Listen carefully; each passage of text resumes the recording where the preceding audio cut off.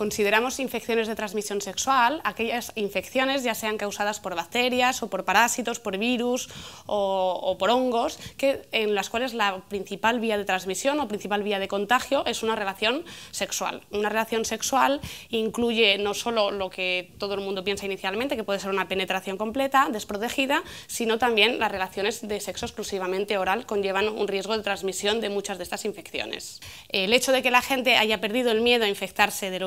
Ha, posiblemente facilitado que se dejen de tomar precauciones y que se dejen de tener relaciones con métodos de protección barrera. Y esto ha hecho que aumenten de forma clara el resto de las infecciones de transmisión sexual sin que tampoco haya disminuido la incidencia de VIH eh, aquí. Otros posibles factores que juegan eh, son el uso de las nuevas tecnologías, esto está pasando sobre todo en las grandes ciudades, el uso de nuevas tecnologías que facilitan eh, el encuentro de mm, personas para tener relaciones sexuales que son personas anónimas, a las que no conocemos, también aumenta evidentemente el riesgo de, transmisión, de enfermedades de transmisión sexual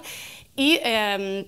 el consumo de drogas relacionado con las, con las relaciones sexuales. Los métodos eh, barrera, los métodos como el preservativo masculino o el preservativo femenino o las bandas de látex son, métodos muy seguros que nos protegen en un grado muy alto frente a la mayoría de infecciones de transmisión sexual. Es verdad que eh, algunas infecciones se transmiten por contacto, de piel con piel o con mucosas, como puede ser la sífilis o el papiloma o el virus del herpes, y para estas infecciones la protección que nos ofrece un método barrera no es del 100%, pero igualmente es mucho más alta que tener una relación completamente desprotegida.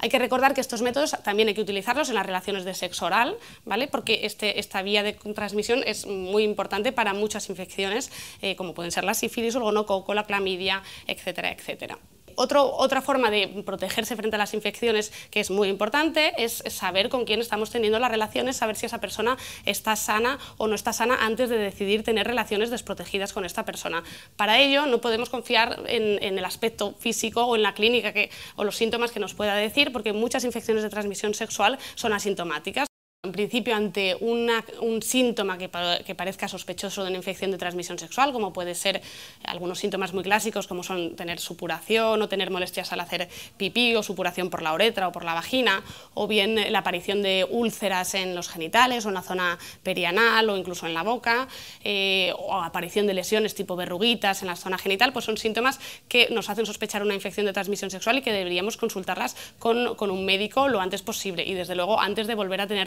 con otra persona.